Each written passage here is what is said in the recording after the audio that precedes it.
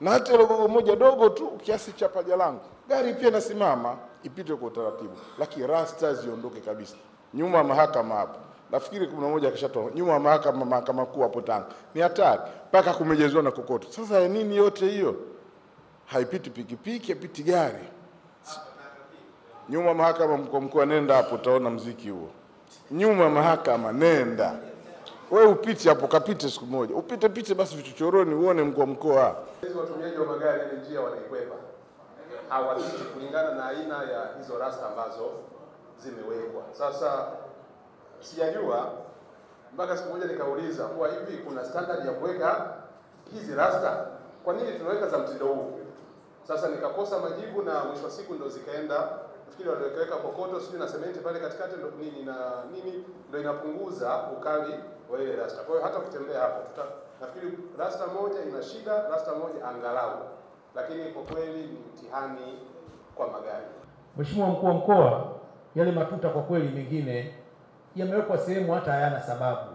Ukitoka Segera kuja Tanga kuna matuta 96 yako hapo njiani, kuna kwengine hata hakuna nyumba wameweka tuta.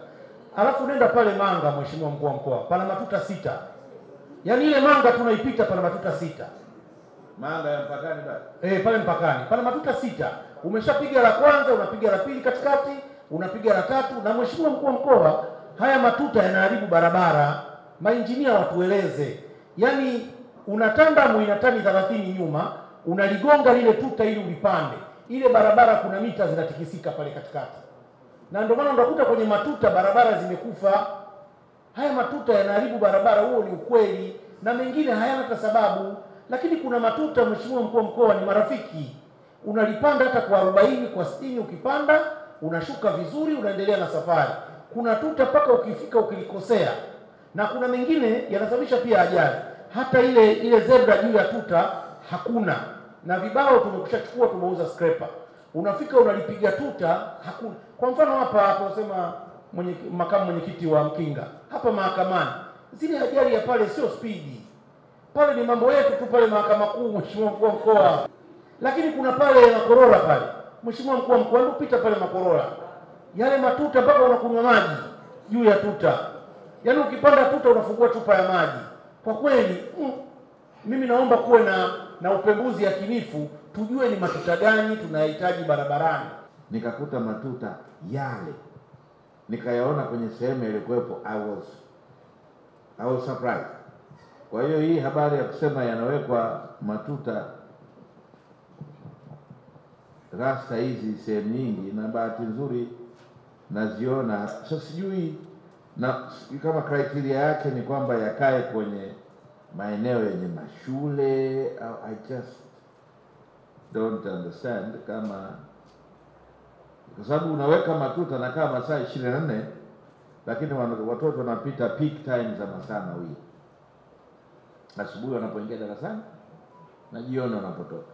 Watoto wanapopita wanazuiwa, wanazuiwa, gari inapita na kadhalika, katika kile kipindi cha cha nani moja moja mpaka moja na nusu ambapo watoto wanakuwa wengi. Baada ya hapo, kwa sababu honestly, yani ah, matuta yale hapana, hapana. Mimi nakubali, twende tukayafanyie utafiti, tuwe waangalifu. Yale madude yale kweli mimi nakubaliana na wewe kwa maeneo ambayo ni sensitive kwa watoto tutaangalia, na naomba TANROADS na TARURA muangalie. Sensitivity za watoto ni important, lakini pia tusiharibu safari za watu. Rasta tunaweka kutokana na watu wa pikipiki, lakini kwa sababu kama kikao kimeamua turejeshe zile matuta, maanake mtu wa pikipiki mkuu akija akikuta tuta yeye analipanda tu, lakini huyu ukiweka rasta, pikipiki itamlazimu tu, lazima atafanya nini? Atapunguza mwendo. Lakini kwa kutokana na hoja na wajumbe wengi wame, wame, wametilia mkazo matuta yawepo, Mheshimiwa Mwenyekiti, tutarekebisha hayo matuta yawe rafiki katika maeneo yetu yote.